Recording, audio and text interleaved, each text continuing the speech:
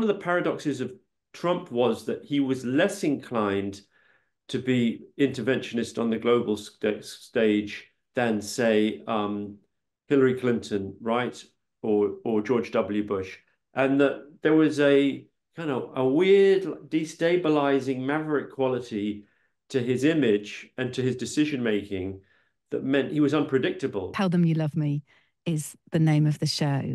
Um, it's set in America. Um, the cast are mostly American, and I wanted to just talk to you briefly, Louis, about about where America is at the moment. You know, you, have explored so many avenues in your career, and many of those are in the states. Your Forbidden America series was brilliant. You spoke to, amongst other people, you know, young, often deplatformed members of the far right, all using the internet to push their message. And I look ahead to the US election this year and the polls so strongly leaning to Donald Trump. And I wonder what you imagine might happen to some of those subcultures, some of these kind of fringes characters, I suppose, characters on the fringe or who might feel that they don't have any, you know, don't have any connection to sort of normal life. That doesn't sound quite right. They don't they don't have any connection to mainstream life about what Donald Trump in power in America again might do for those people. Um, I, you know, it's a big question. I do think there's a high likelihood Donald Trump will win the next election. I think it's probably what will happen actually, and but I also think that it would be a mistake to sort of see his constituency as a sort of a fringe. Like he, you know, you he he enjoys something like I don't know, forty percent of the support of of the electorate, and um, that that's that's a lot of people. That's a lot of people who would see themselves as just all American mainstream um, regular regular people joes joes and janes yeah. and and the majority so, of regular people are now intending at this time to vote donald trump and i wonder i wonder where that leaves us but also where it leaves those people who are who are disaffected who might feel either disillusioned that they've got what they want or feel empowered by it if he wins, do you mean? Yeah. Uh well, any anything's possible. I do think that um the, the Trump brand and the Trump narrative is so strong, and the idea that you know, you know, wherever it may come from, the idea that he is a sort of lone crusader, the only one willing to take on the, a corrupt establishment, which is, you know, that that that sort of the the myth that he's that he has created for himself um, I do think there's a, there's a you know even once he's in office, I think that there's so much confirmation bias that people, whatever happens, people will see him as speaking for them, and I think actually he would have been re-elected in um, in 2020 if it hadn't been for the coronavirus, right? I don't think there's much question about that. That um, it was it was sort of the mass panic and the sort of the sense of dislocation that followed from the virus that meant that Biden got elected. So yeah, I mean his approval ratings when he was in office were relatively high. I think there's bigger issues though, which are to do with how how how the internet and the tech barons take on disinformation online and the extent to which um, we're able to um, get a hold of algorithm-driven um, fake news and and and and try and curate a sort of conversational space that um, is less toxic and less tribal and less nativist. Mm. Do we do we fail to get a handle on that under Donald Trump? Is he going to help or help or hinder the power of misinformation? The different things. Um, you know, I'm very like it's it, it it's very easy to sort of bang the drum for uh, a kind of more patrician, almost neoliberal um, establishment and say so oh trump's going to inflame nativism. Not to say that that's not true but i don't really i don't want to buy into that uncritically. I mean one of the paradoxes of trump was that he was less inclined to be interventionist on the global st stage than say um, hillary clinton right or or george w. Bush. And that there was a kind of a weird destabilizing maverick quality to his image and to his decision making that meant he was unpredictable, right? He did he did very little in the way of aggressive foreign policy interventions. So you know, I think it, he, he he comes at so many different angles and he contradicts himself so much.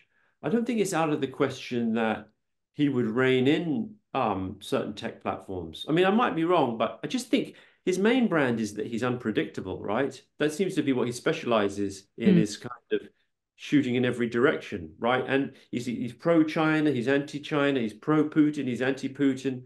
So I, I have no clue really what his steer would be regarding um, whatever you call it, like sort of viral disinformation. Um, once you know what he's going to do about that once he's in office. Regulating the internet, etc. Yeah, yeah, interesting.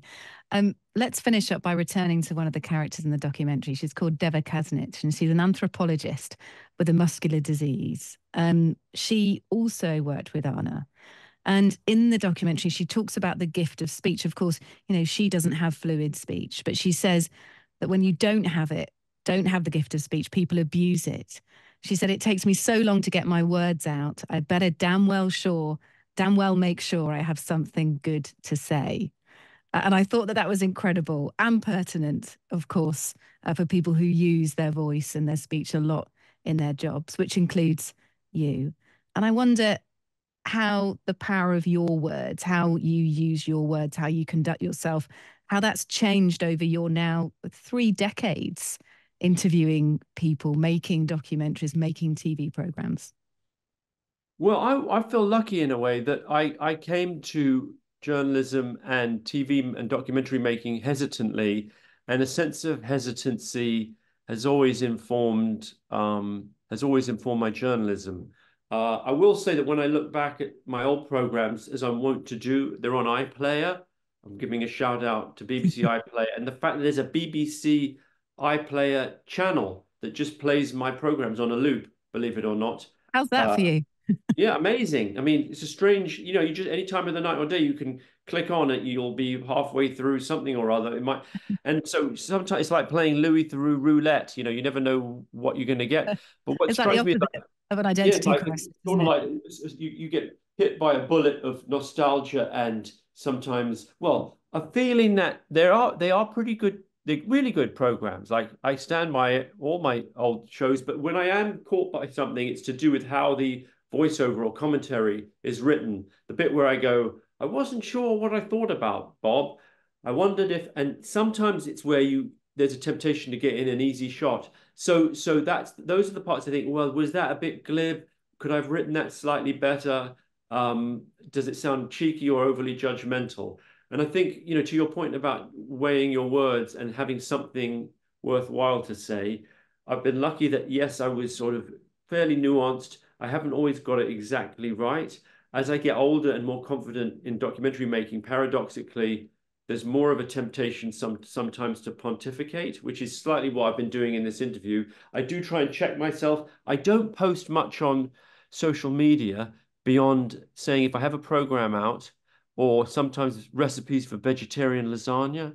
Yeah. Um, so or I don't feel like I don't. I try not to be one of those people who's always kind of chucking red meat at their base, saying like, "Wow, look at this person, aren't they awful?" Do you know what I mean? Yeah. I do just basically make let the journalism or the work speak for itself, and um, and you know, hope hopefully, I try not to have too many opinions. Is the bottom line. Yeah, and that's hard sometimes. Are your your question questions more or less risky? Do you think now? Do you think the sort of gift of age and experience has made you more hesitant, or or has I that made think, you want no, to? No, I think um, well, I've been I've got a I've got a podcast on Spotify, and what I notice is that um, I think I'm getting a little better at being myself, which is double edged because more of me, if you don't like me, is worse. But if if you feel like if I, I feel as though because I've seen a bit more of the world, I've got three children, I've been married for you know a number of years. Um, I'm 53 years old. I I guess I feel more confident of asking questions that um, take you to a darker or deeper place, right? Without it feeling like I'm trying to slip one past someone. Like uh, the I truth is, most of the time people are trying to connect, and I think a lot of the time people enjoy being challenged or having um, whatever the elephant in the room is, having it brought into the conversation. And so I, would like to think I'm getting slightly better at doing it and doing it from a place of sort of compassion and maturity. But um, I'm probably, you know, that's a bit like marking your own homework. It's for mm. others to hmm. judge. What do you mean by you haven't been yourself over a uh, period? well, I want to I've been more myself. All I mean is uh, I've I've allowed more of my own personality to poke through. I mean, partly that's a result of the form, which is podcasting, or I've written a couple of books now. And in the old days, I thought I had to maintain a sort of mysterious, um, sort of enigmatic presence in in the programs and not say too much about myself. Um, whereas now, I, I suppose I'm not too fussy about it. Like I can just say, "Here's what's on my mind. Here's the things mm. I'm grappling with." Um, how does that sit with you? You've turned into a sharer, Louis. I'm a, maybe an oversharer, but you know, so be it. I, have got nothing to hide. You know, I used to think I was like a maybe a bit of a prankster and a provocateur, but you know, a bit like Ali G or Chris Morris. And now I think um, not really. I'm I'm fine just being a, a, a journalist who is sort of trying to connect with people and tell the truth about what he sees. Louis Theroux, thank you so much for speaking to us. Tell them you love me It's coming to Sky Documentaries and the streaming service now on Saturday, the 3rd of February. It's been a great pleasure speaking to you. Thank you.